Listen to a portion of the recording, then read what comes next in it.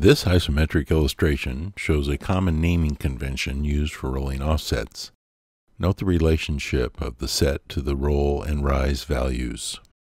If there is no roll component, the set will be equal to the rise. If there is no rise component, the set will be equal to the roll. This illustration shows the relationship of the set to the roll and rise for two parallel pipes in an elevation view. The goal of this video is to show how the dimensions for the run, set, and travel of a rolling offset can be found using only basic tools such as a tape, square, and pencil. The first step is to draw a horizontal line with the length equal to the offset's roll. Next, add a perpendicular line with a length equal to the offset's rise. Repeat this process starting from the end of the last line drawn, but this time draw the roll vertically down and the rise horizontally to the right. Now connect the start points of both roll lines and connect the endpoints of both rise lines. These lines are the hypotenuse or set values of the two identical triangles. The triangles are right angle triangles with identical angles as shown here using the colored shapes. As with any right angle triangle, when the non-90 degree angles are added together, they will total 90 degrees.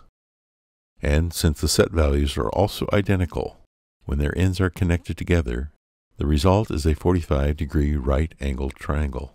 Using this resulting triangle and a tape, we can measure directly the set, run, and travel dimensions. But this is only for a 45 degree rolling offset. What if we need the set, run, and travel dimensions for an offset with some other bend angle? Can the same method be used for them? Yes, it can, but with the following additional steps. First, save or redraw one of the original triangle vertical lines. Now, measure down this line 10 units, we'll use inches, and draw a reference line to the vertex of the 45 degree angle. This reference line is used along with a factor that corresponds to the bend angle found in a table of factors for common angles. The factor indicates the distance to measure vertically up or down parallel to the reference line. If the desired bend angle is greater than 45 degrees, measure up from the reference line by the amount of the corresponding factor. If the desired bend angle is less than 45 degrees, measure down from the reference line by the amount of the corresponding factor.